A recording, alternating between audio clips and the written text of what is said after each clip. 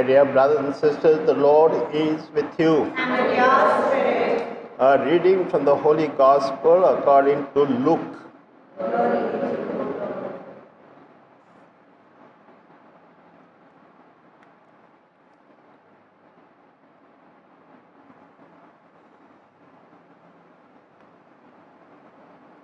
Peter said, Lord, does this parable apply to us, or do you mean it also to everyone? The Lord answered, Who then is the faithful and wise servant? He is the one that his master will put in charge to run the household and give the other servants their share of the food at the proper time. How happy the servant is in his master's finds him doing this when he comes home. Indeed, I tell you, the master will put that servant in charge of all his property. But if that servant says to himself that his master is taking a long time to come back, and if he begins to beat the other servants, and both men and women, and eat and drink, and also gets drunk, then the master will come back one day when the servant does not expect him and at a time that he does not know. And the master will cut him in pieces and make him share in the fate of the disobedient.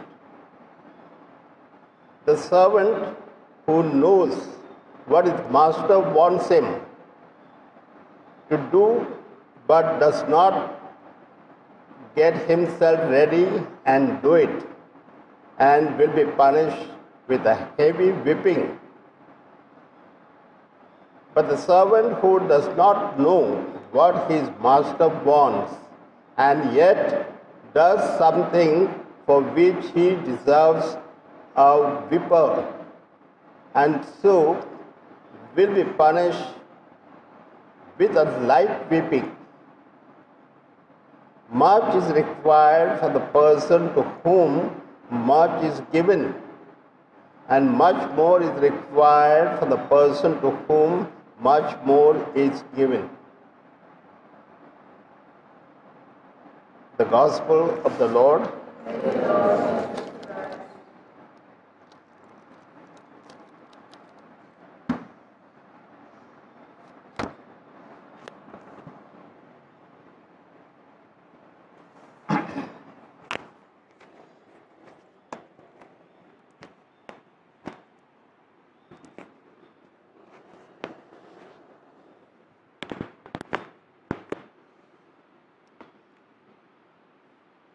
My dear brothers, sisters, today I want to talk about purgatory because all of us are praying for those that are in purgatory.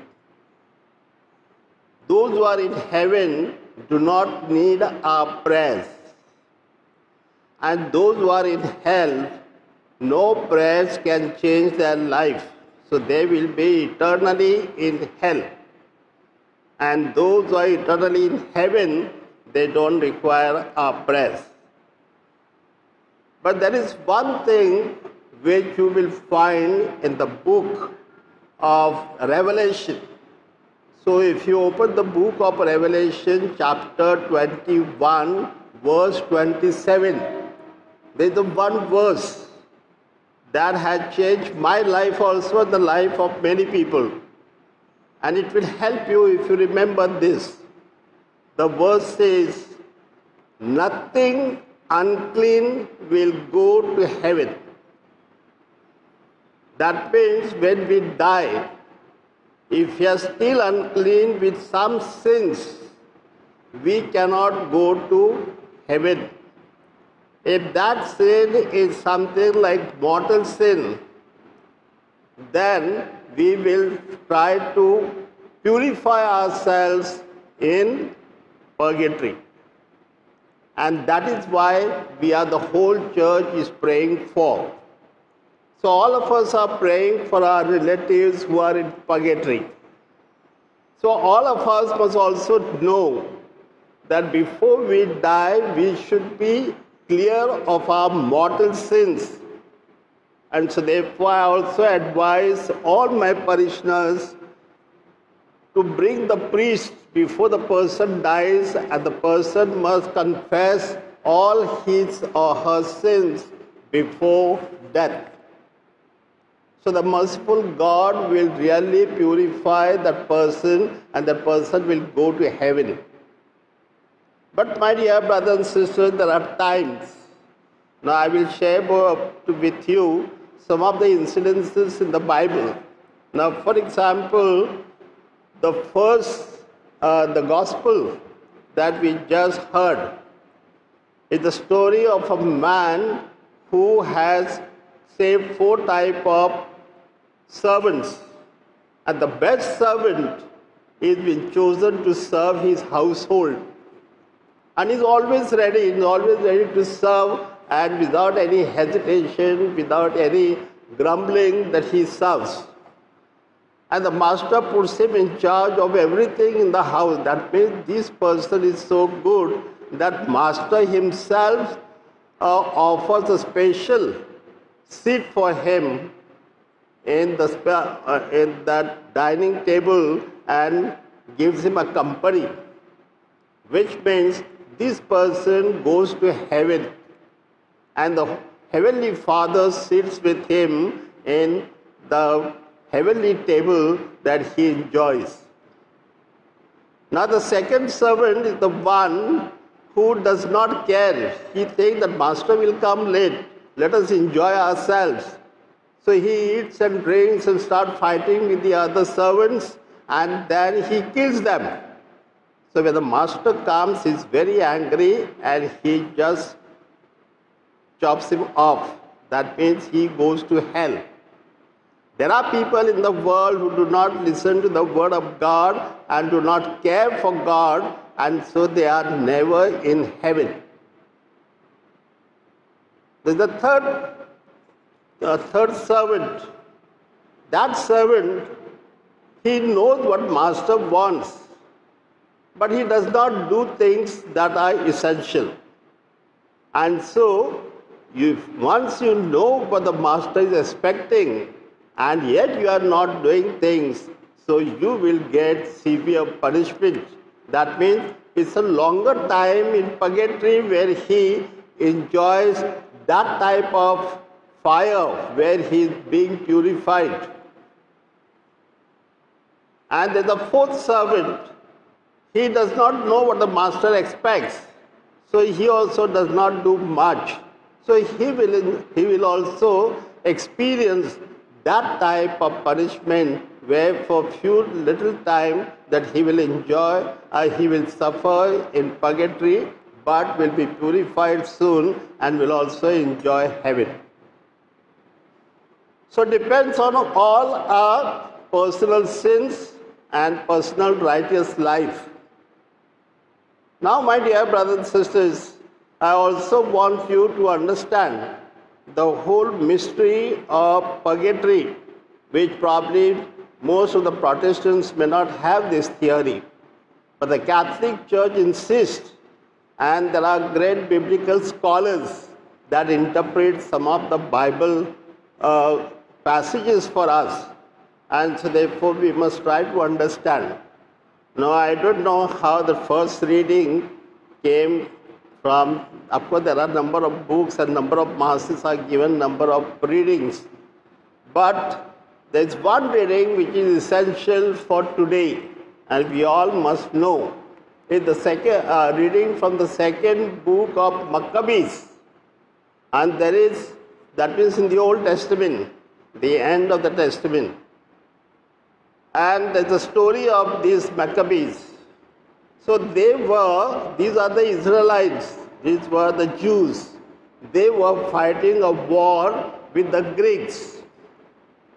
And so therefore, when the war was over, there were some people from Jewish community, the Jews won the war, but some people from the Jewish community died. And so uh, then the Maccabees, they said, since some of these people have died, they tried to find out how they had died. So when they were trying to remove their clothes, they found some idols. That means wrong gods. That means they did not have enough faith in the God of Yahweh who would really save them and would fight with them and win the war. And because of the wrongdoing, because of the idols, that these people were killed. And so the Maccabees said, let us collect some money and let us send it to Jerusalem as an expiation for the sins of these people, that God's mercy will save them. And so they were uh, they went to Jerusalem and offered sacrifices in the temple for these people. So this is a story that we have. That the Catholic Church on this particular day we offer masses and sacrifices for our people that they may really enjoy the good health and so they may be saved in heaven. So this is the sense of our Christian faith that we all need to grow in that and also spread because there are times when we do not take care of our spirituality and suddenly we die and then people go on crying.